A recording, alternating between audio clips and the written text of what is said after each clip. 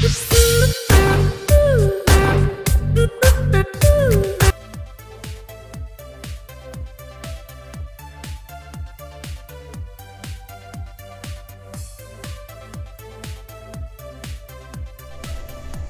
guys, good morning everyone.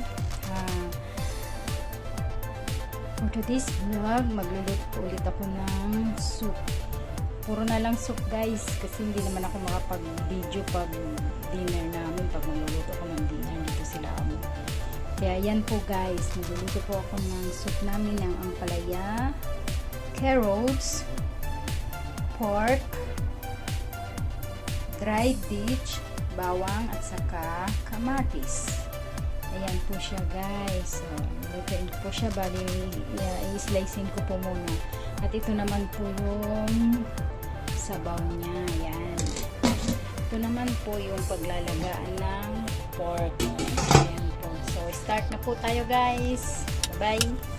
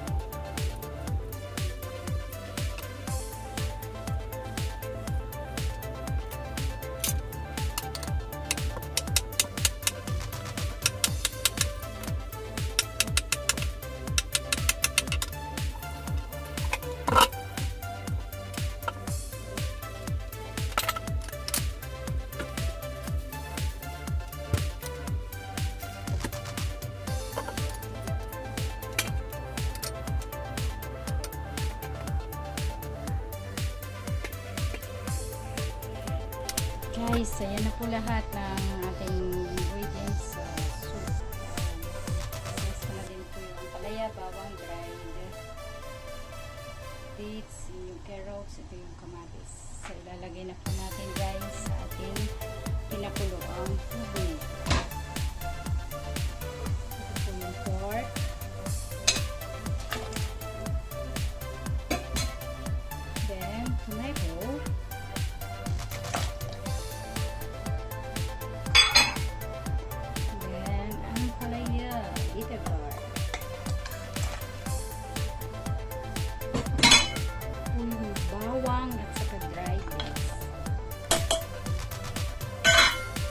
last one is carrots.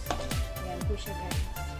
Ayan na po, na po siya guys. And then, pakukulaan po natin siya ulit ng 1 hour.